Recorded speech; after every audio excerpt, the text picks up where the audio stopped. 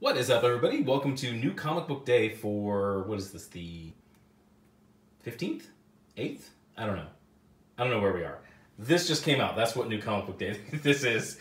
hey, sorry, man. I'm in between, uh, I'm in between semesters. I don't know what the date is. This is, I just kind of like kicking back, having some fun, doing a little hobby stuff. Might do some painting tonight. Look at this. I'm making a little wood carving boat for Nerdicane Jr. Um, if I get good at this stuff, I actually might start doing hand carved wooden props for uh, D and D, like D and D miniatures. I got some pretty cool ideas. Uh, imagine like a, uh, imagine like a a gnome Voltron. I had an idea for that, a design for that. But anyway, I digress. Getting back to comics, which is why you follow me. But uh, so these came out. I'm gonna redo these a little later. Um, once again, alterna comics. Look at this. Buck fifty. You. Oh man, there's no downside to that. If the comic's bad or if you don't like it, uh, you're out a buck fifty. Whereas if this winds up being bad, which I don't think it is because this is Ed Brisson, um, you're out five bucks. but alterna comics are craft comics, so the odds of this being bad being like the writer just picking up a paycheck are very very low because this is a creator driven this is creator uh, produced comic that just happens to go through alterna. Uh, if you see alterna comics or if you don't see here's here's the better thing. If you don't see alterna comics on the shelves of your comic book store please ask them to start carrying alterna comics. They're so good. Um, but getting back to where what we're doing here Thor number four. This is the end of the first arc of uh, this new Thor series, and they are in Hell. Um, there's a war going on in Hell. They're kind of doing like a Game of Thrones, like uh, marriage thing, uniting two armies to kind of be the bigger army and take over. Uh, as we left off in the last one, God, I hope I did the video on that. I hope I released the video on that. Um, if not, I'm going to have to go back and do that and release three before I do four. But uh, anyway, Thanos shows up to break up this wedding. Only he's not here to he's not here to break up the wedding. He's here to break up with her, um, not her, her on the previous page. And it's actually kind of it's kind of funny how he does it. He's just like, uh, yeah, my old mistress called me back, so um, or no, yeah, he's he's in love with the Infinity Stones, so he's after the Infinity Stones. So that's a cool thing because that means that finally, once again, Marvel comic books have a continuity. What Thanos is doing here is affected by what's going on in Infinity War in another comic book. He's go he's leaving this storyline to go be part of another storyline, which is something that we've been missing from comic from Marvel Comics for a while. It's a lack of that that continuity in the universe where if a character has to do something big in another issue, they're not going to be in a different issue doing something minor. They're going to be over here. So that's that's a cool sign that we're starting to see from Marvel again. Um, maybe Cebulski's bringing that back. Um, I don't know. Uh, is like my new favorite part of this, and he's this just this rampage murder dog, and he call he calls himself a murder dog. I don't know what he is exactly, but um, he kind of does this cool thing where he's like in the battle and he's doing he's just tearing stuff up. But he has this conflict is like you know what? I could just leave all of this and go find a home and find a new master and who will play with me and you know because he, he's he loves thor. Um, thor's his master thor's thor's his boy. And he thinks that thor is dead which technically yes he is. Um, so he's masterless sort of rudderless and the decision he makes or the decision he toys with is, you know what, just go be a dog somewhere. And that's kind of cool for just he's he's just an ancillary character, but I'm really starting to love Thori. Um, this right here is pretty cool. This was like okay, so Loki killed Thor as we did in the last as we covered in the last issue. Um, Thor is going to Valhalla to rally the Valkyries to come in and fight, which in this should have been bigger. It should have been a bigger scene in this comic book. Um, so Loki, I'm not sure what this is, but Loki ties this to the end of the hammer, So, and it's pretty cool way because Valhalla is separate from all the realms, and people don't really know how to get there. Otherwise, they would be going there all the time and coming back. So people don't know how to get there.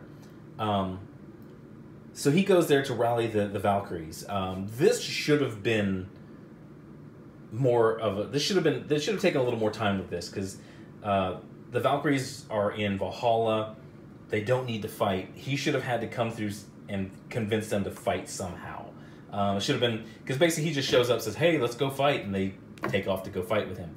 But the cool thing is, is he's in Valhalla. Nobody knows how to get to Valhalla. Loki ties this to the end of his hammer, and then he calls his hammer.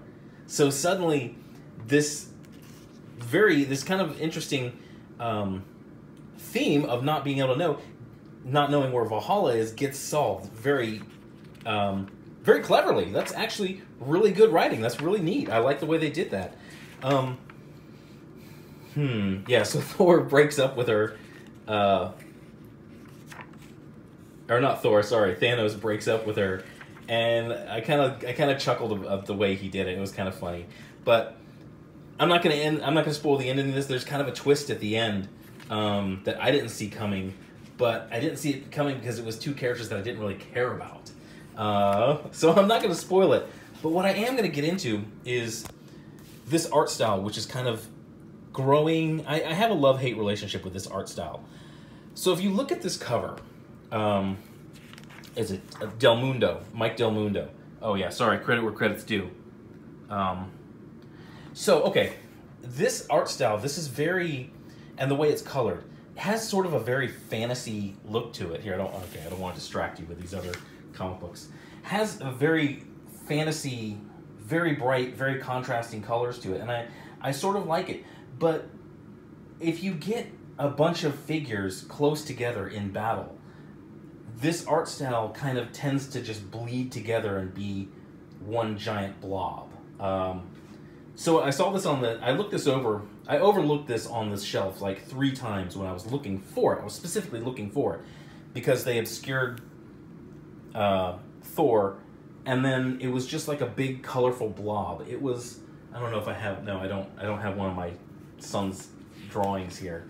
Um, one of his crayon drawings, but I could put that next to it, and they would have very similar things to them. As like sort of lines and, and blobs and smudges, and it, it's. I do like it. This style, this art style, this is beautiful. I like this because this is sort of Valhalla, which is sort of like a heavenly realm. Uh, I like the way this looks. It's kind of clouded, and, and Thor is, is dressed in these robes, and it's very. The lighting is done very well, and, and it, I, I do like this when it's when it's like this. But when you get into situations like this, this just looks like a blob. It's it's hard to tell what the heck is going on here. Uh, same with that. There's so many things in this comic book battle scenes where you get a bunch of characters together where it just seems like like just blobs are all over the screen. I'm not gonna. I don't want to spoil this. Um, but what I do want to do is, if you've watched this far, here you go. Here's a free comic. Thank you for watching. Uh, hit a like and hit, a subscribe. I always like those. Um, but here's a free comic, Spider-Geddon, right there. So if you've stayed this long, you get a free comic. You're welcome.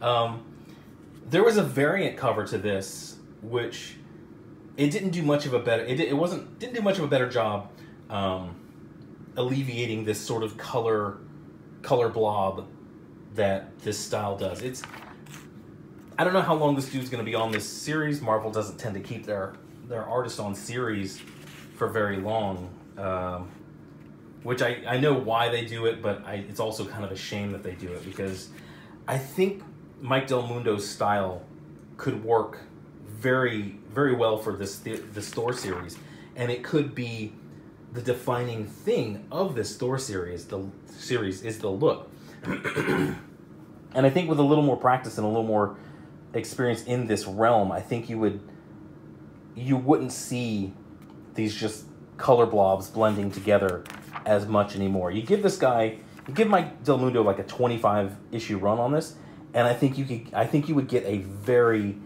distinct looking, very beautiful Thor series. But I don't think Marvel will do that. because um, you know 2018 Marvel, you know how they do things. But uh, that's all I got for that. I'm not going to spoil this one. Uh, enjoy the free comic, whoever gets the free comic. And um, oh, there's my. I'm going to end here on my favorite character of this series, having his his emotional moment. It's beautiful. But I'm Nerdicane. Thank you for watching. I'm gonna crank some videos today. I might do five uploads today. Um, thank you for watching. Thank you for for blah, blah, blah, for subscribing. Um, I got to do a little bit of work today, but I'm going to do a lot of videos. But thank you for your time. Y'all have a really, go have a really good new comic book day. Go find something new. Go experiment with something. Grab something off the shelves that you don't normally get. That's something new, which is what I did here. Um, as always, alterna comics, craft comics for you. Um, but yeah, thank you for your time. Have a good day. Let me get this uploaded. Bye.